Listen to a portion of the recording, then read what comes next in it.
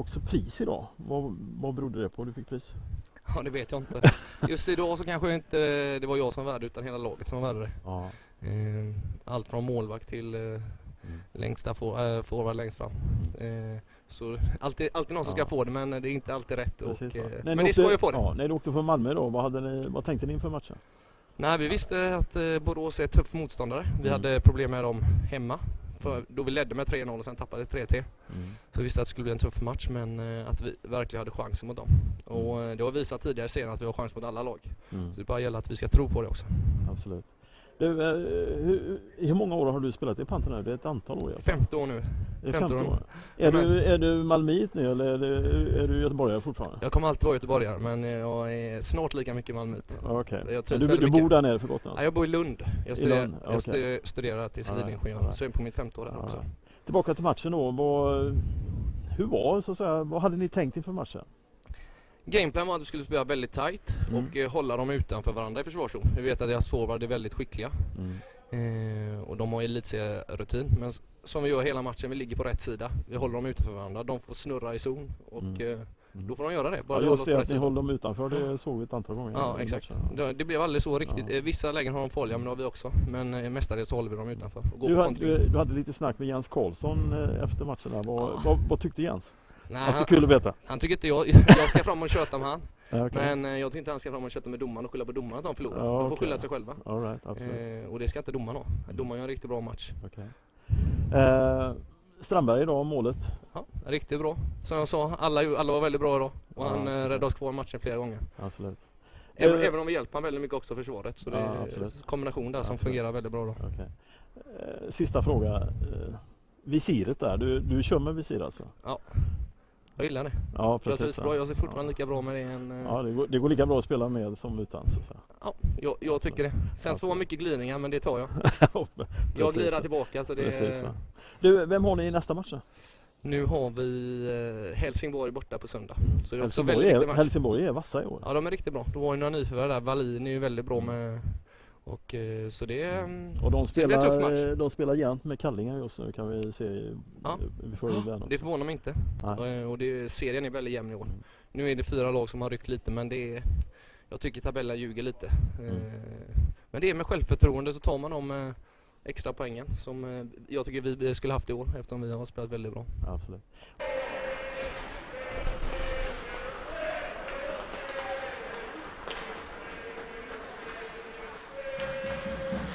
Ja, full fart på Pantherspelarna. Och så har vi mål! Vi har mål! Vi tittar en gång till på den där. Tittar på anfallet hela vägen upp. Ja, det blir ett tidigt mål för Pantern där.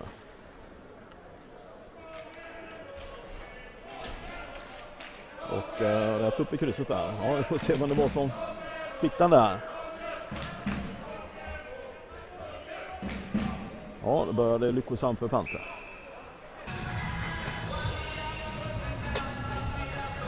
Ja, där har du eh, Svehockey. Andreas Ahlberg där.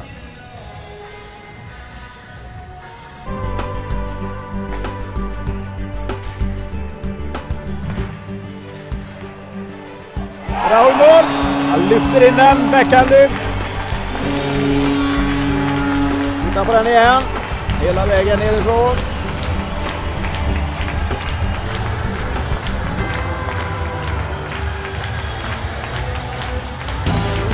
Och då ett backhandlyft.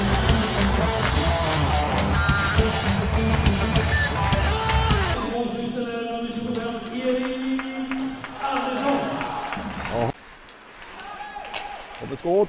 Ja, jag fastnar på en bråspelare. Går inte hela vägen fram. Panten kan få ut pucken i zon.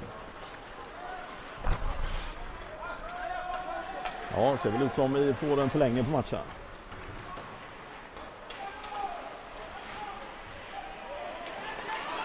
Ja, Panten. Och där har vi skott! Panten gör mål! Väldigt snyggt sådant. Sista anfallet sitter högt där.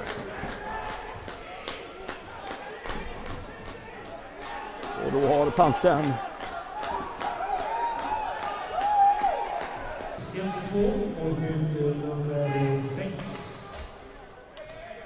Rickard Dahl. Assister nummer 8, Isak och nummer 82. Ja, så vad de säger. Vi siktar åt där. Vi är inte riktigt överens där, men Isak Haag är assist i alla fall. Vi får se. Inte lätt att se allt som här sker. Ja, Borås har tagit ut sin målvakt i alla fall.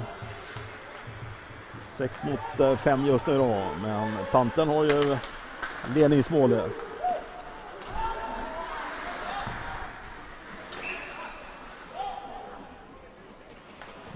sex, fyra sekunder kvar. Ja, det är inget resultat som Borås eh, är nöjda med naturligtvis.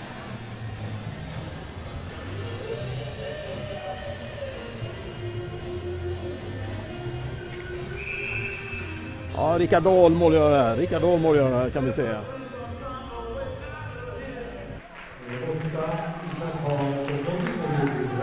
Ja, Isak Hansson. Eh, ja, vi får se vad som händer här. Ja, han ville prata lite extra. Vi lyssnar på Isak. Vi hoppas att han kommer på intervju sen. Ja, då är det glatt gäng som åker ner till Malmö nu. Och så vidare. Matchen var ju som eh, Isak beskrev innan att vi var ju beredda på att eh, Borås skulle ha mycket puck. Nere i vår zon, jobba, skickliga forward som rullar på oss. Och vi sa det precis som att vi försöker boxa ut dem, hålla dem utanför oss. Och vi vet att vi kommer få våra chanser om vi har tålamod. Mm. Och eh, vi tog ledningen med 1-0. Mm. Höll vi det genom första och sen så släppte vi till på ett PP tror jag. Mm. Boxplay för vår del. Men det kändes ju i tredje som den farten som eh, Borås stod för i andra hade de inte riktigt med sig in i tredje. Det kändes som att orken inte räckte till riktigt där och då fick vi lite mer initiativ och vi kom in i matchen. Men ni, men ni var hyfsat eh, pressade också i vi var slutet där. pressade i stort sett hela matchen. Mm. Men eh, jag tycker som vi gjorde ett bra jobb i egen zon. Vi stod upp för vår målvakt och han gjorde jobbet som behövdes för det.